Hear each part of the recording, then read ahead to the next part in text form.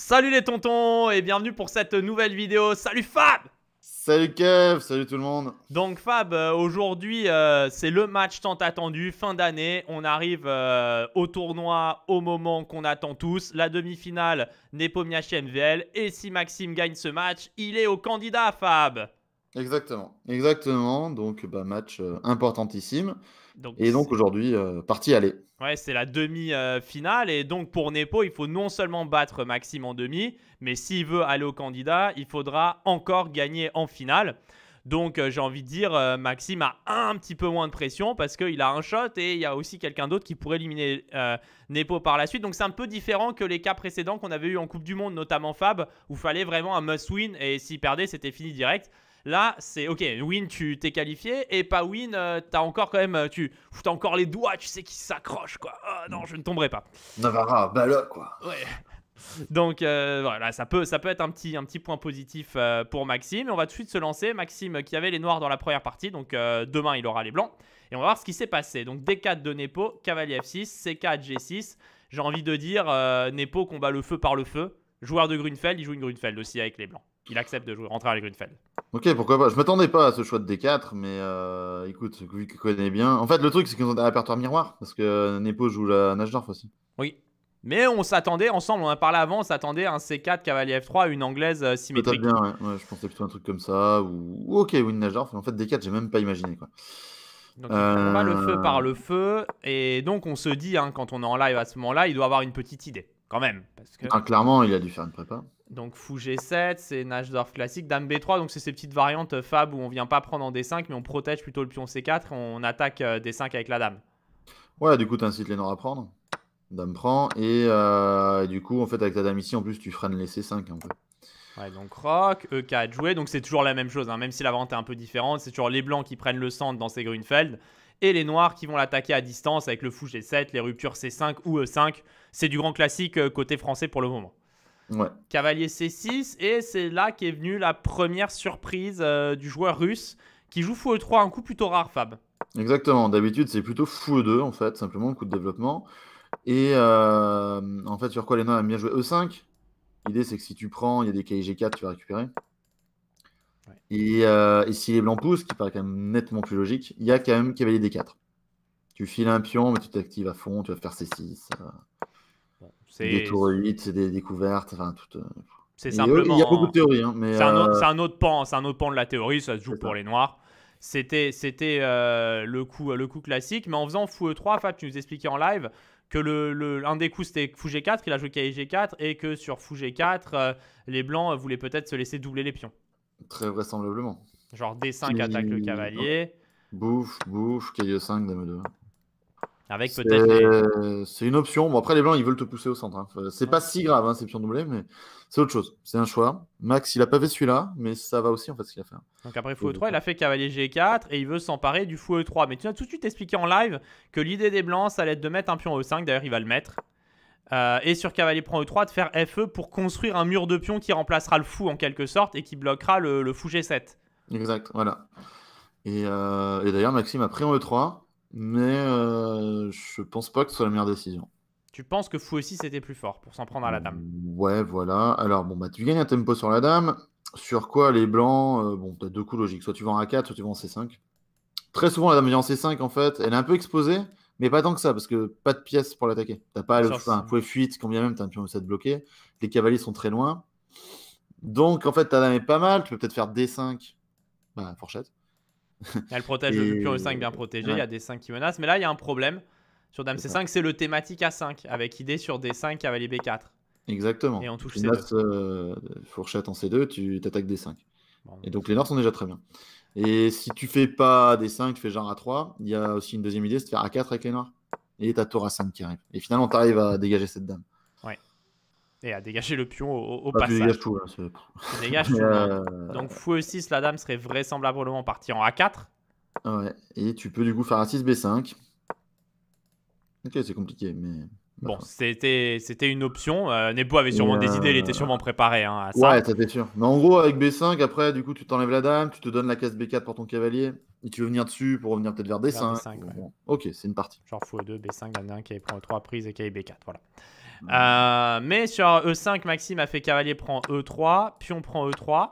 Fou GK, donc c'est aussi assez logique en fait. Il vient, il vient s'en prendre euh, au, centre blanc en attaquant le cavalier. Il va peut-être vouloir jouer plus tard dans la partie F6 pour casser la chaîne de pions. Mais là, Nepo qui va faire un truc très fort. Ça nous a fait un peu peur. Il a fait H3.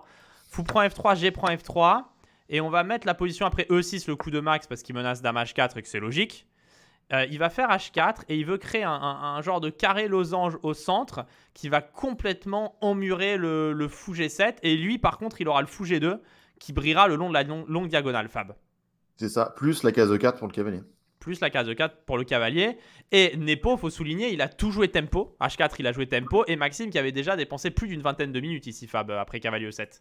Ouais, non, mais Nepo qui sort la, prépa euh, le jour J.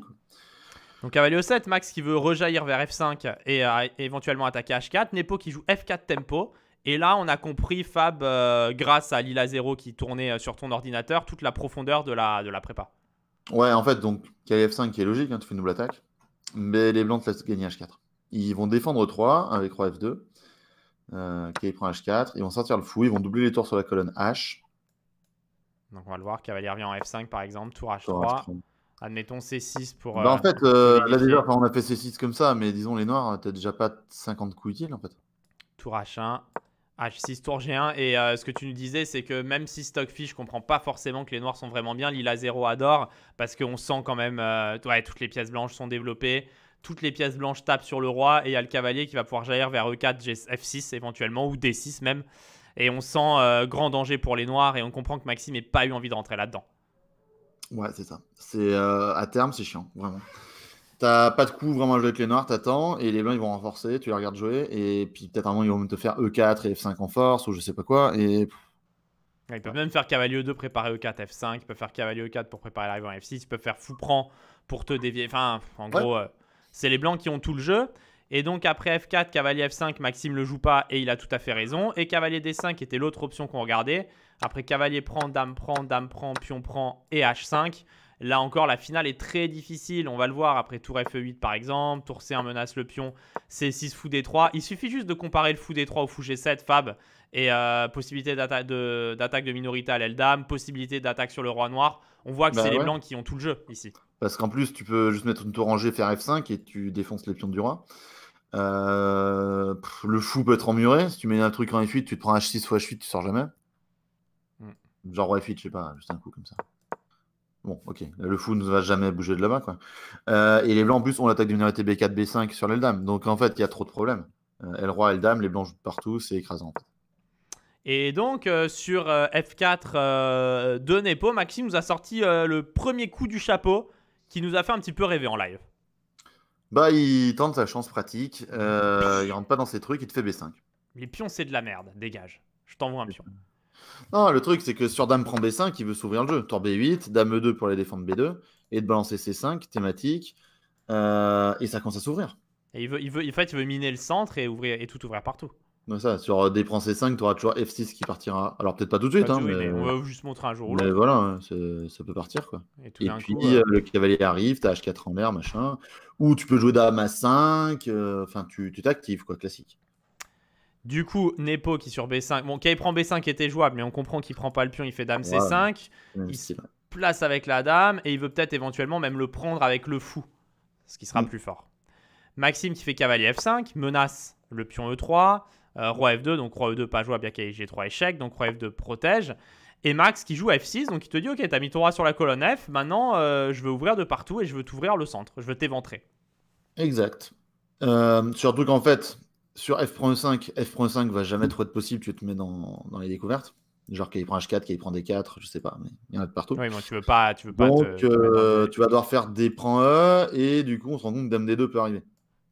Et donc on s'attendait ici à un coup comme soit cavalier E4 pour protéger la case D2, mais aussi fou E2, simplement pour sur Dame D2 pouvoir réagir euh, en chassant la dame, bêtement. Exactement, par exemple FE DE. Bah, dame D2. Dame D2, en fait pas grave, c'est la Dame C5 défend. Donc bon.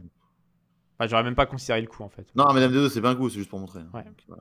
Ok, peu importe. Euh, et du coup, avec Fou 2, tu t'évites ce genre de choses. Et avec les Noirs, du coup, pas évident de, de trouver un plan. Hein. T'as essayé de faire un peu de Dame D7. Euh, juste comme ça, pour montrer les Blancs vont renforcer. Et FE, les, tours, DE. les- les tours arrivent. quoi. Ok, là c'est juste une vente qui se passe très mal pour les noirs, c'est juste pour illustrer. Euh, voilà, fini, faut prendre ça. En gros, c'est un peu le jeu blanc qui se met en place et les noirs sont acculés. Et après Fou E2, euh, honnêtement, Maxime était, était vraiment dans le dur. Position difficile, il aurait tenté quelque chose, hein, il aurait envoyé du jeu, mais, euh, mais ça, semble, euh, ça semble compliqué. Mais euh, Nepo va faire une gaffe. Alors là, euh, la confiance revient côté français, tour D1. Et là, une gaffe quand même assez incroyable, puisque maintenant, euh, les noirs en profitent et jouent B4. Donc, qui attaque le cavalier. Et sur cavalier E4, qui était le coup qu'on voulait faire de base, bah on peut plus parce qu'il y a F prend E5. Ouais, et des prends pas possible, la tour est en l'air. La tour est en l'air. Et sur F prend, comme Fab l'a dit, on va faire un. Bon, là, on peut faire KD 6 et qu'il prend E4 d'ailleurs. Ouais. Moins facile. Ouais. Mais bon, il y a peut-être encore cavalier F6. Mais bon, vous allez. euh, Enfin bon, ça, ça va bien se passer. le quoi. roi juste est trop mal quoi. Ça va bien se passer. Hein. Bien se passer. Donc, euh, Nepo, euh, qui après B4, euh, peut pas bouger le cavalier, qui, qui a plus de mobilité à cause du clouage le long de la colonne D. Il est obligé de prendre le pion B4, tour B8, dame A3. Et là, Fab, on est pépouze sur le stream. Maxime a retourné la situation comme il l'avait fait euh, la veille contre André Kin. Les Rouskov en sueur, euh, Issou Night Club. Ouais, non, disons la position reste très incertaine, mais d'un truc qui semble complètement euh, où tu bouges pas une oreille, euh, tout d'un coup on se dit ok, euh, il va peut-être arriver à faire C5. Ouais. Donc file le pion, mais si dame prend, il y a tour prend B2. Et si pion prend, euh, Attends, je vous montre un. ouais, ouais. prend B2 et bon, c'est- c'est chaud. échec, et ok, on arrive quoi. Euh, et si pion prend, euh, dame C7. Bah, on, a, on a cassé la construction. Ou dame 8 ou dame, je sais pas où en fait. Mais dame C7, ça semble pas con. Parce qu'on attaque 5, parce que peut-être il y a des calibres E3 qui arrivent, euh, etc. Quoi. Et, euh, Admettons, et il prend, chaud, quoi. prend, et en, en en réalité, là, c'est- la retournada. Mais c'est très chaud. Quoi. Genre fou C4, peut-être développer un attaque E6, mais bah, dame C6 défend. Et la dame se place bien. On peut peut-être prendre DH4 avec le cavalier, venir un dame F3, dame G2, je sais pas. Juste euh, position euh, très compliquée. Quoi. Ouais, et puis surtout, euh, c'est un peu comme à la boxe. C'est le dernier qui a mis le coup qui frappe. euh, il, il vient, il, il a raté, euh, il fait tourner un grosse gaffe quand même. Grosse erreur à ce niveau-là. Maxime qui frappe une fois, qui frappe deux fois. On se dit qu'il va lui mettre, euh, il va lui mettre l'uppercut et on sent le joueur russe qui va finir comme Joshua, quoi. Non, mais Ouais. tu vois, tu commences bien le combat, puis après, palmarès, Ouais, mais bon, tu joues contre Ruiz, qu'est-ce que tu veux faire? Ouais, c'est ça. Le mec s'appelle Parce que Ruiz. Ruiz a le droit de combattre en fait. C'est ça, tu joues contre Ruiz, quoi. bah, fou. Bah C'est quand même un Ruiz a Mexicain, gagné, euh. enfin, je veux dire, qu'est-ce que tu veux faire? Donc on s'attend à ça, on est complètement confiant, euh, mais mine déconfite. Et là, Max qui fait F prend E5, D prend E5. Et tout le problème, c'est que maintenant le pion C5 peut plus agir sur, le, sur le, le- la majorité centrale. Juste pour montrer, l'idée de C5, c'est quand même que ça dévie ce pion D et ça permet de faire jouer, entre guillemets, au centre un 3 contre 2. Ouais. Avec des échanges qui vont se passer. Mais en faisant FE, DE, il, il- interdit au pion euh, C5 de jouer contre le centre blanc. Et du coup, Maxime peut plus virer ces trois pions qui sont des, des, des cauchemars pour le fou G7, Fab. Ouais. Bah, ton seul choix, c'est de sacrifier dessus en fait. Mais euh, tu peux plus euh, les péter par des ruptures de pion. Enfin, t'es peut-être H6, G5 dans un doux rêve, mais le problème, c'est que le cavalier va venir en E4, on va le voir. On va le voir. Alors là, Et, euh, on a imaginé peut-être que comme il a réfléchi 6 minutes après DE, on s'est dit que c'était seul coup, un DE, DE. On s'est dit qu'il avait peut-être vu Dame E7 qu'il a pas joué, mais après Dame prend E7, tour prend B2 échec, Roi E1, Cavalier prend E7, Fou C4, menace le pion, admettons Roi F7, Fou B3. À vrai dire, Fab, il y a égalité matérielle, mais les pions noirs sont dégueulasses. La tour arrive en D7, le cavalier en G5, et n'oubliez jamais que le fou G7 ne joue pas par rapport au fou B3. Donc oui, oui, c'est- ouais. c'est une catastrophe. C'est complètement. C'est pas jouable, et d'ailleurs, Maxime ne l'a pas joué. Il fait Dame E8. Alors, Euh, euh, logique, tu veux peut-être revenir vers C6, et de là, peut-être vers B6, sur la diagonale, etc. etc. Euh, mais fou G2 jouer, je trouve ça logique, t'évites Dame C6. Et la dame qui a beaucoup de mal à rejoindre euh, les cases à l'aile dame. Et ici, on s'attendait. Enfin, on s'attendait. Non, on a- s'attendait à on rien en fait. ouais. Non, mais on espérait. On se disait peut-être la seule rupture, c'est H6G5. Mais Ouais, sur le H6, problème, c'est ça, euh, ouais. cavalier Cavalier E4. E4, ouais. Et donc G5, H prend G, H prend G, cavalier prend. Et puis bah, t'as rien, t'as fait aucune rupture en fait. T'as juste donné tes pions de ton roi. Euh, et en fait, ouais, donc si on regarde un peu les pièces, le problème, euh, c'est ça, c'est que déjà, bon, les blancs ont un pion de plus. Bon, ça c'est un fait. Euh, ils ont les pièces bien placées, le cavalier arrive en E4, les noirs ont le fou G7 qui sera toujours hors jeu. Et c'est problématique, quoi. Du coup, il a tenté fou prend E5 pour jouer le long de la colonne F. Ouais, mais Pion pour, prend euh, E5. changer la dynamique de la partie. Et cavalier H4, donc euh, très bien joué. Échec à la découverte. Menace le fou. Roi G1. Cavalier prend G2. Et l'idée ici, c'est que quand les noirs reprennent la pièce en G2, il veut faire Dame C6, échec. E4 pour fermer la diagonale. Dame B6 pour entrer en F2. Tour HF1 pour empêcher. Et Dame E3. Et, euh, et il va revenir vers G5. Et on s'attend à minima à un échec perpétuel. C'est même le joueur français qui domine ici. Ouais, ouais, ouais, c'est une belle tentative. Mais Nepo va être impérial et va très vite jouer après cavalier prend G2. Donc Maxime, qui vient de prendre le fou en G2, il va jouer le magnifique cavalier E4, vise la case F6, Fab, et couvre la case E3 avec euh, la dame. Et le cavalier maintenant en G2 est complètement enfermé, Fab. Bah, le problème, c'est que tu peux faire euh, roi prend G2. Et sur un coup comme dame C6, qui était euh, tout à l'heure très bien, il y a dame E7. Menace matin H7, menace cavalier F6, enfin menace tout. Ouais, sur euh, tour F7, on va faire du cavalier F6, tour prend F6, se prend F6, et on va mater en douceur en G7. Parce qu'en fait, dame C6, euh, c'est bien parce que tu vas faire des menaces, mais concrètement, t'en fais pas pour l'instant. Ouais. T'as même pas d'échec. Ouais, donc Max a tenté tour D8. Et là, il y, a un- y y a gros piège, c'est que sur cavalier F6 échec, Qui a l'air logique, hein, parce que tu Ouais. forces, tu reprends, jusqu'à fourchette. hein. Tu prends D8, tu prends un F6, et tu dis, ok, le cahier G2 il est enfermé, je vais le bouffer, j'ai une qualité de plus, voire une tour de plus, c'est fini. Mais c'est pas fini. Enfin, oui, en fait, c'est fini, mais ça fait nul parce qu'il y a perpète. Ouais, La dame va trouver la bonne diagonale et va donner euh, des échecs infinis au blanc. Donc euh, à ce moment-là, tour D8, euh, euh, ça peut devenir chaud. Cavalier F6 est un piège. Sur tour prend D8, ça va donner du jeu avec les hauts noirs. Ils vont faire dame prend D8, dame D5. Mais là encore, Nepo impérial, il trouve le meilleur coup. Tour C1. Ouais. Empêche Non. dame C6. Empêche dame C6, et juste en F4, enfin, normes essaient de reprendre un bêtement, hein, comme ils sont venus en face de nous. Et, euh, et là, le cahier G2, il reste euh, enfermé, quoi. Donc Maxime qui tente dame B5, il veut s'activer avec la dame, viser la case F1, viser le pion E5. Dame, Dame E7, E2 peut-être, je ne sais quoi. Mais dame E7, bien joué. menace mat. Même cas de figure que tout à l'heure, sauf que cette fois, on peut un peu défendre avec tour D7 euh, de manière transversale. Cavalier F6, tour prend F6, dame prend F6. Et euh, Nepo a déjà une qualité de plus. Alors il le fallait peut-être tenter qu'il prend E3 ici pour résister un peu plus. Mais, euh, mais bon, de toute façon, dame prend E6 échec et c'est une cata. Mais Maxime qui fait tour F7, il veut tenter quelque chose de peut-être euh, plus piégeant. C'est ça, t'as des pièces en fait qui se ramènent un peu vers le roi quand même. Mais Dame euh, D8. ouais, bien joué. Tour tour F8. Dame C7 menace mat, tour F7, dame D8 échec. Euh, sur roi G7, les problèmes c'est qu'il y avait des tours euh, C7 qui, ré- Ouais, qui ou, ou rodaient ici. dame G5 qu'on a vu aussi, je crois. Ouais. Mais attends, c'est très Ouais, fort. C7, bien dame parce que c'est F1, très euh, ça va pas bien loin. Ouais. Il n'y a plus d'échecs en fait. Et dame F6 arrive. Donc. Avec un échange massif. Donc il a fait tour F8. Nepo qui a joué dame E7. Donc il se rapproche euh, de plus en plus, Fab. Oui, oui, oui, bah, complètement. ouais. Maintenant sur tour F7, euh, il veut faire Tour euh, tour tour C8, H7, je pense. ça. Et, euh, et peut-être même dame prend F7. Ah, très joli. prend H7, mat. Donc dame E7, Max qui défend le pion H en jouant H5. Et Nepo qui va finir tranquillement la partie en faisant dame prend E6 échec. Roi G7. Tour C7 échec. Roi H6. Donc si on part en H8, il y a sûrement du tour prend H5 échec. Puis on Puis on prend prend dame H6. et G7 dame ou dame G7. H7 d'ailleurs. ouais. Donc euh, tour C7, il monte en H6 et, euh, et là il a Nepo qui trouve euh, la dernière combinaison. Vous pouvez mettre sur pause si vous le souhaitez. Elle n'est pas très difficile. Il fait tour prend H5 échec, roi prend seul coup, dame H3 échec et là il y a eu abandon. Le problème c'est que sur cavalier H4, il y a tour H7, roi G5, dame H4, roi F5, dame F4, roi E6, dame prend F8. On va pas montrer toutes les variantes mais toutes arrivent à cette position là. En gros et le truc c'est que dans tous les cas de figure, il y aura jamais un seul échec pour les noirs. Euh, bah il y a pas d'échec en fait. Donc, euh, n'importe où que non, soit la non, tour à la fin de la bah, variante, euh, ça donnerait la même chose. Et donc Nepo s'impose, euh, Fab. Ouais, s'impose dans cette première partie du coup et prend euh, bah, un bel avantage pour la qualif, on va pas se mentir. Euh, Après, il peut- il dommage. peut craquer. Hein. On se rappelle la finale à Riga, Ah, oui. Mamediarov qui avait craqué dans la deuxième, qui est perdu en une heure et demie.